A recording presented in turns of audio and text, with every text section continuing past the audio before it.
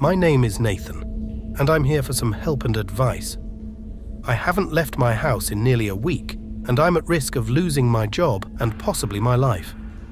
Most of you will discount what I'm about to say, and to be honest, so would I.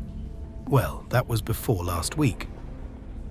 Truth is often stranger than fiction, and in this case, it certainly is. This is some messed up story time. So, please, listen to what I'm about to tell you, and if someone out there has any answers, reach out to me before it's too late. Last Friday, I joined some colleagues for a quiz night at a local bar. Honestly, we did more shots than we got correct answers. At 10:30 p.m., I decided to leave. I wasn't drunk, just slightly tipsy. I didn't live far, so I started to wander back home. Around 5 minutes into my 10-minute journey, it started to rain. There had been a storm forecast, but it hit earlier than expected.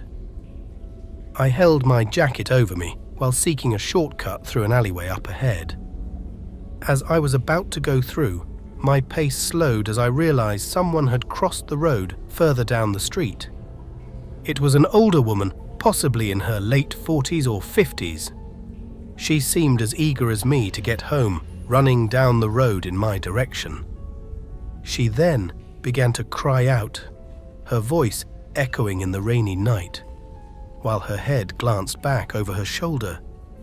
It looked as though she was being chased but I couldn't see anyone behind her. Should I help her or hide? I thought to myself, but the small possibility of danger entered my mind.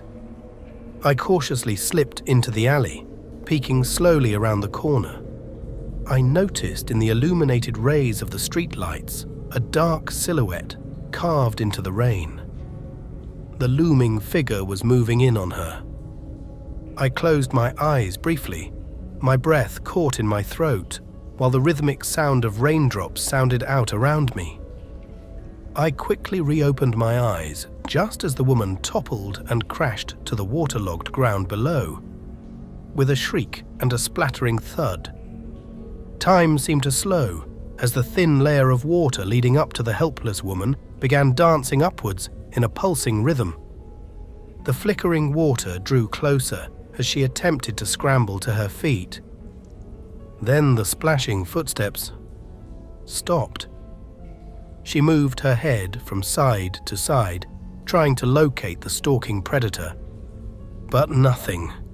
Just an eerie silence filled the empty street. Only the blanket noise of raindrops could be heard. She stumbled forward, legs trembling, now stood underneath one of the streetlights the glowing beam exposed her bloodied face. The figure reappeared out of nothing, like a light-absorbing vortex, distorted by the rain. It was stood right behind her. A dripping blade made from water began to form at the end of a shadowy arm. She must have sensed it by the way her body jerked quickly around, now face to face with that thing the watery blade plunged deep into her gasping mouth. Her horrific screams turned into a gargle in an instant. Her eyes widened as she looked straight at me, the life draining from her now limp body.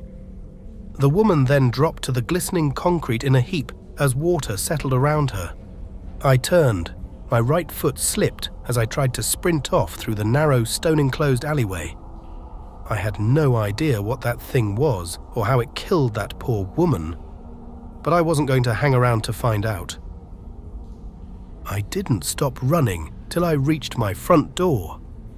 I dipped my hand frantically into my left jeans pocket, pulled out my set of keys. They fumbled in my hand as I concentrated on finding the right key. Why I had all of these keys on there, when I only know what half of them are for, I really don't know. Once I had found the right one, the next challenge was trying to get my arm to stop shaking so I could get in. I forced the key in, unlocked it, and burst through the door. I slammed it so hard behind me the surrounding wall trembled. I was stood, hunched over, hands on my knees and head down. My breath deep and quivering as my eyes watered in fear. I felt sick in that moment, like I had just been punched in the stomach. After five minutes, I had started to regain some normal breathing again, enough to lift myself up and walk to the living room. I sat, exhausted on the chair, just as a bang came from the wall. It was obviously my neighbour, probably moving something around, but I jumped out of my skin regardless. For the rest of the night, I had all of the lights on and TV on full volume.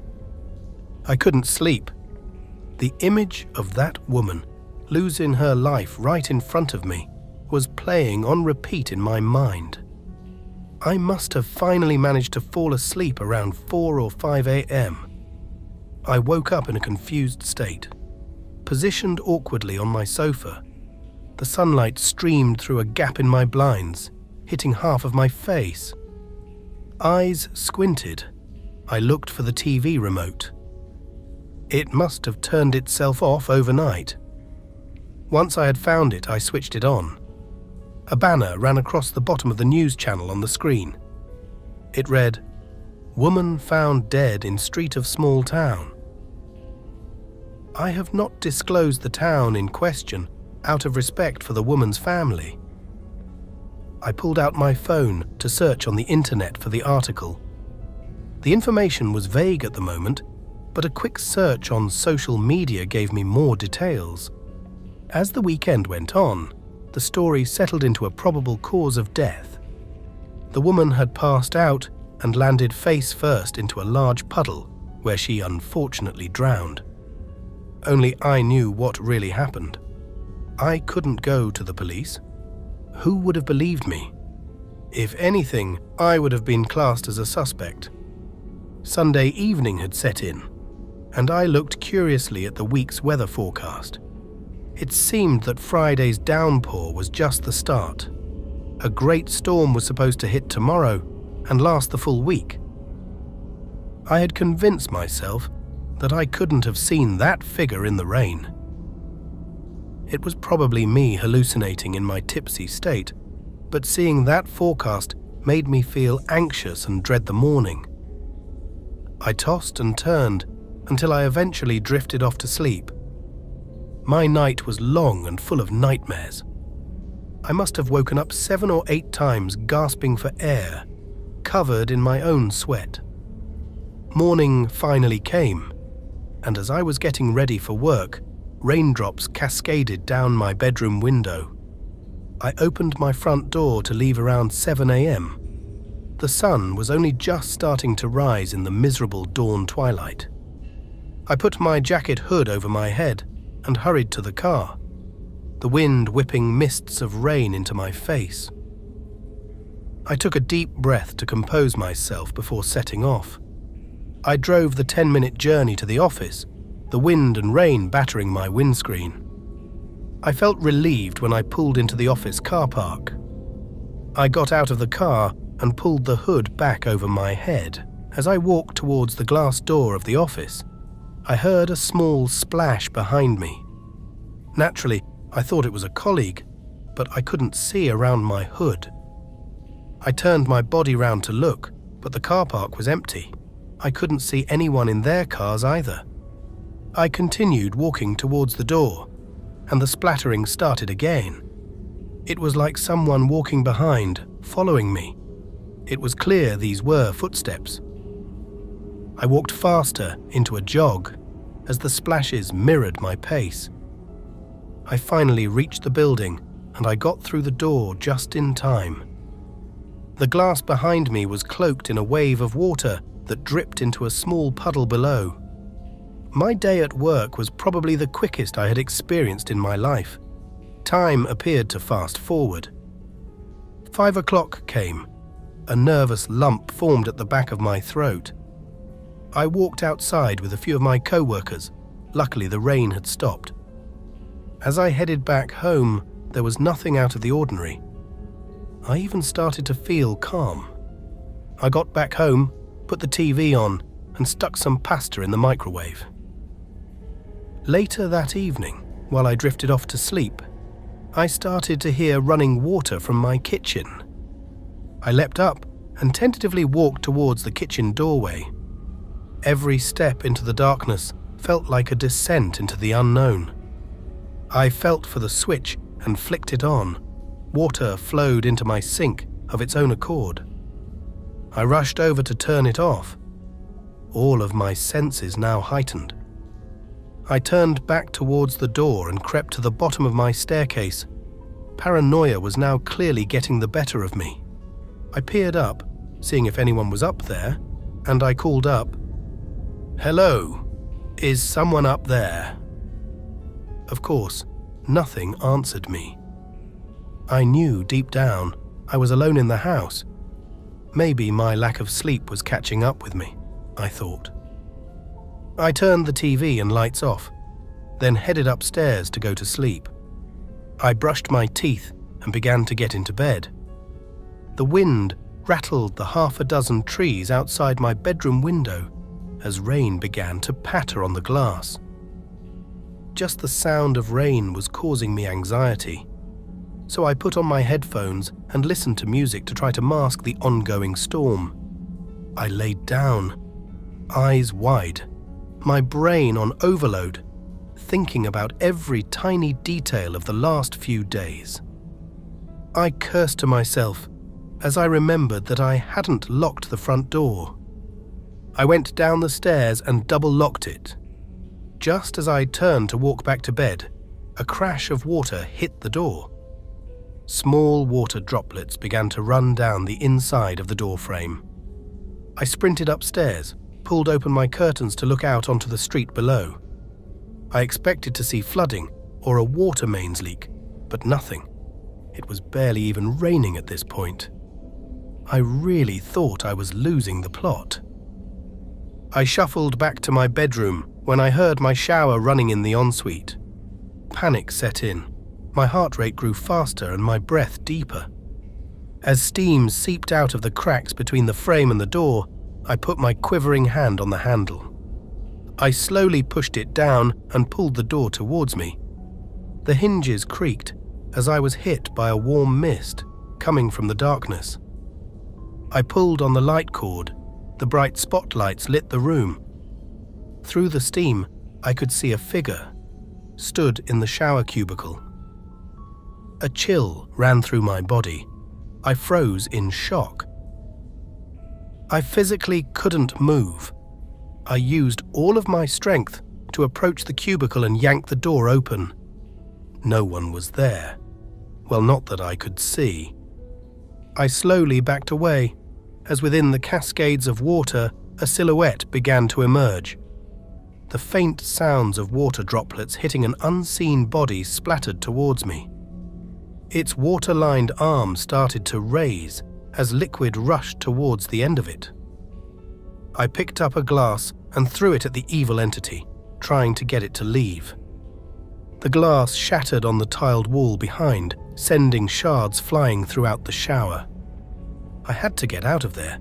I ran out the door, closed it behind me, and pushed my drawer unit in front. I burst out of my room and down the stairs, my hurried feet slipping as I went down. As I got into the kitchen, the water began to flow from the tap again. I flung open the cupboard underneath and twisted the water shut-off valve. A gurgling noise proceeded as the water above me started to reduce into a slow drip. I sat trying to regain my breath on the cold tiled floor. I didn't see any way out of this for me. I couldn't and still can't make sense of what was stalking me. This ominous man-like figure using water as a weapon. After what seemed like hours, I got myself off the floor and sat in my living room. I can't lie, dark thoughts ran through my messed up head. How I wasn't going to let that thing take me out, even if I had to take myself out of this dire situation. Morning came sooner than I thought. I had been sat up all night. My head racked with fear. I didn't dare go back upstairs. I called in sick for work, as I just couldn't move knowing the rain was still battering down outside. Every so often, I would hear a large splash of water on one of my windows. First, it would be the living room one. Then, the kitchen window was drenched in a wave of water. About 11 o'clock, I decided I was going to go upstairs. I nervously walked up each step. I was anticipating the worst from what I had experienced the night before. I pushed the bedroom door open, holding my breath, trying to listen for any slight noise. As I neared the ensuite bathroom, I could see that the drawer unit was pushed out at an angle, and the door was now open. This was the same door I had slammed shut and blocked 12 hours prior. Goosebumps suddenly covered my body as my heart frantically lashed at my rib cage. My breath was forced out in short bursts as I prepared myself to enter the bathroom. One large exhale later, I burst the door open. It was empty. The shower was still wet, and the shards of glass still covered the bottom. As I looked down at the tiled floor, five large watery footprints led towards the door. The hairs on the back of my neck began to stand on end as I slowly looked around. The curtains were soaked in water, and the window was ajar. It looked like it had made it out of the house. I fell to the bed in relief, hoping this was the last I would see of it. I have since only been out once in the last four days to get food and stock up on small bottles of water. I have still not had the courage to turn the water back on I have no plans to do so until I get some answers. The storms keep passing through, and I venture outside between the downpours. I constantly feel like I'm being watched, and the pipes have been making strange noises ever since that awful night. I am now desperate for some suggestions or solutions to all of this. I don't know how long I can put up with all this, I just hope somebody will take this seriously. I hope to update you all soon. Wish me luck.